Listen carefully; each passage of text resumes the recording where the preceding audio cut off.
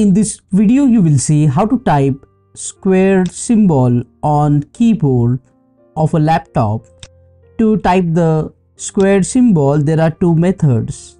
You just need to type number 2 on your keyboard then select the number 2 using a keyboard or a mouse and in Microsoft Word you can click here on the X square button which is a superscript option. After clicking on this option, the 2 will go upside as a superscript. You can also use the keyboard shortcut.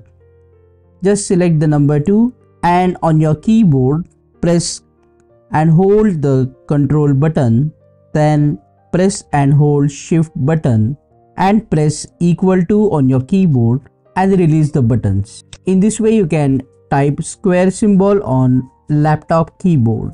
Click on that like button, comment below and let me know if this video solved your problem.